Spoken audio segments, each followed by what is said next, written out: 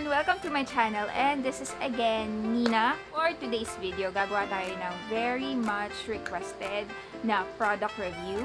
At ito yung Tantananan Vice Cosmetics Duo Finish Foundation. Binili ko to sa SM Department Store sa Mega Mall.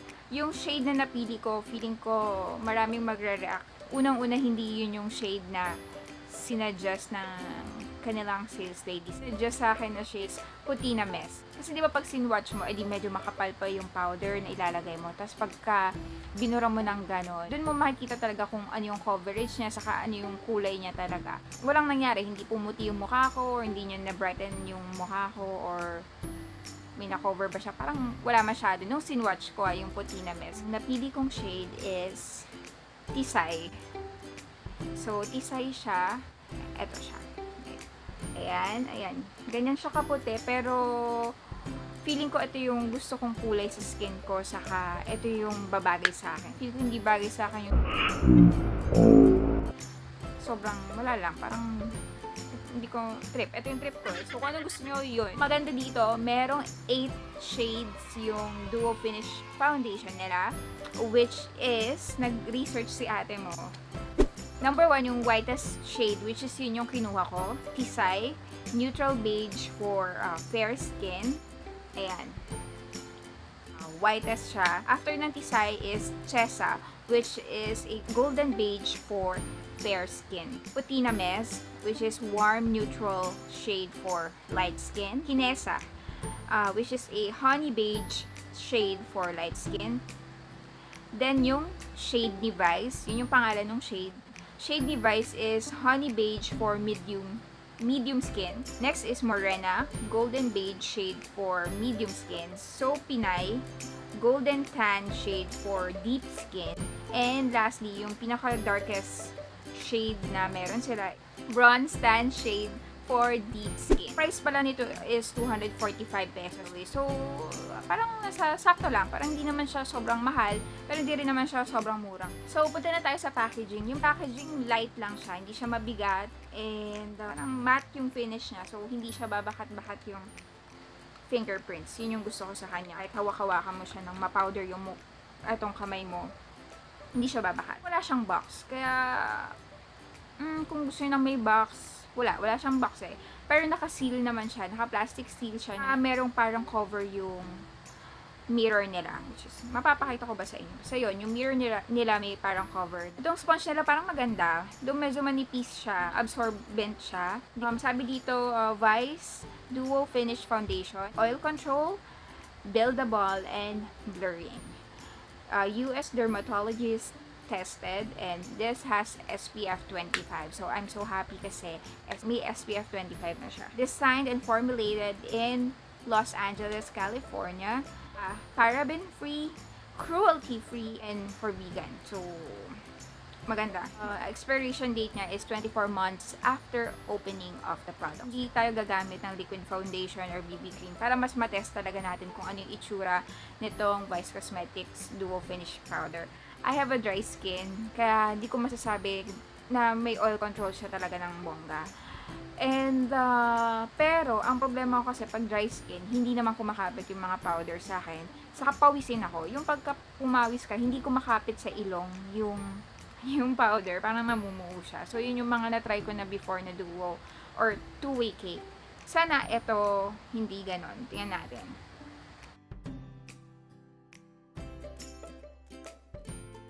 Wow. Okay. So, kung makikita nyo yung skin ko has, has lots of freckles or dark spots, kahit ano pang tawag nyo dyan. Uh, very sheer coverage yung may bibigay niya or yung binibigay niya ngayon. It's really sheer. Ang, ang gusto ko sa kanya, unang apply mo pa lang, kumakapit na siya sa face ko. Ito yung pinaka-problematic area ko, yung nose. So, nakita natin kung makakapit, kakapit nga ba talaga siya. Oh, in fairness. Talagang kumakapit siya sa nose area ko. Hindi siya namumuo.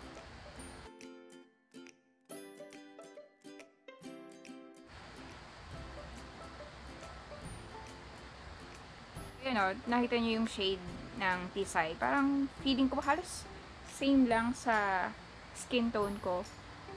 Or, ayun eh. Kaya, ito talaga yung pinili ko. I mean, uh, this is light. Light coverage siya talaga. Try nating i-build pa.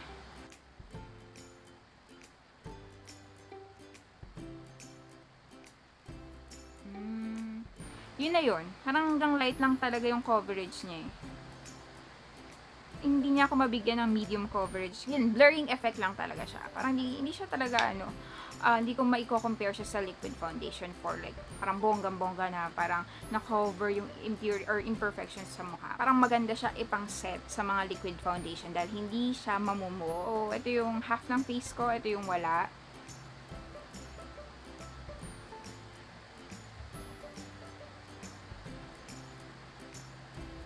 na-blur out niya yung mga uh, freckles ko. Yun. Lagay na natin siya sa buong face.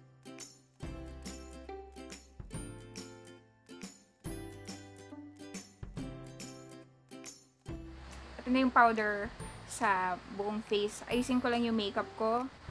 Okay guys, I'm back. Siguro okay na tong uh, very simple look natin for today dahil dito lang naman ako sa bahay. At nagkilay lang ako, nag-cheek tint at nag uh, lip stain din. Initial thoughts ko about the Duo Finish Foundation, yun nga, silky siya, meaning light lang siya sa face, hindi siya parang namumuo sa muka. And uh, madali siyang i-apply, saka kahit medyo namamawis yung ilong ko, madaling kumapit yung powder. Yun yung nagustuhan ko sa kanya. When it comes to uh, covering imperfections, nakalagay lang naman sa kanya is blurring. So, nagawa naman niya yun and I'm so happy kasi nagawa niya na na-blur yung mga dark spots ko and some imperfections sa mukha. Pero syempre, huwag kang mag expect na full coverage to dahil hindi nga to liquid foundation. Yeah.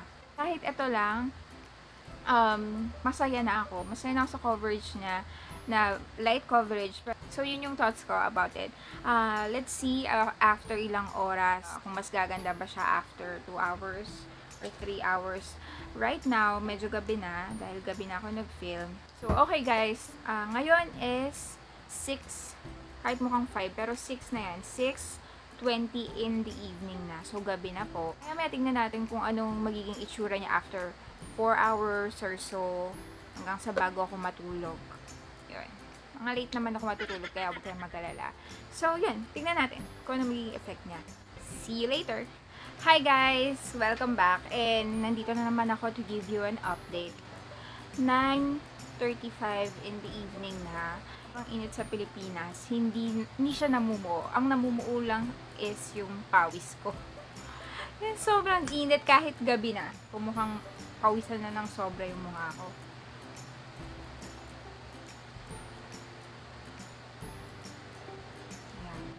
um, mukha na akong may natira pa bang product? I think oo. Kita pa din yung product kahit ilang oras na siyang nasa face ko. Hi guys! And dito na naman ako to give you my final update. It's been like 6 hours nang nasa face natin itong Duo Finish Foundation you guys. So, 12.30 na ay final verdict na ng Duo Finish Foundation you guys. Ang pros ko dito, unahin natin, gustong gusto ko yung packaging niya. Ayan, magaan lang siya, saka matte. Hindi basta-basta bumabakat yung fingerprint mo. Pro ko sa kanya is yung mirror niya. Maganda yung mirror, malinaw. Hindi siya yung chipanga na mirror na parang plastic. Next is the sponge. Hindi siya yung matigas gamitin sa mukha. Kaya sobrang another good thing siya sa pro ko sa kanya is yung SPF 25. So, eh, yun nga, uh, piniprevent ko ng dumami pa yung mga dark spots ko. Kaya, most of the products that I use has SPF. And another super pro is that it doesn't have a flashback. Pakita ko na lang yung picture ko pala kanina after nating mag first uh, impression review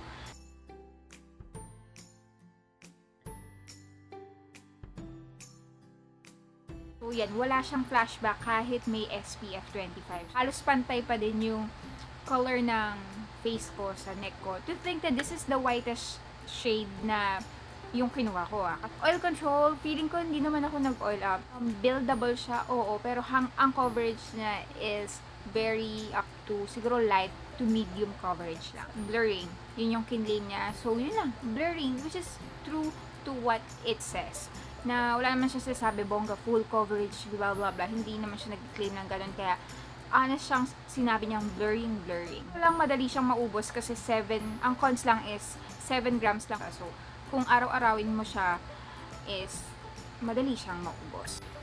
Other than that kung marami ka namang ano, pambili ako titipirin ko to. Ako titipirin ko to kasi maganda siya. Another pro is hindi siya namumuo. Kahit pinagpawisan na ako, kahit ang lagkit-lagkit na ng mukha ko, hindi namumuo yung foundation sa mukha ko. Lalo na dito sa nose area, yan yung problematic area ko na pag nilalagyan ko ng mga two-way foundation, parang hindi ko makapit. Yung gano'n, naranasan niyo na ba yun?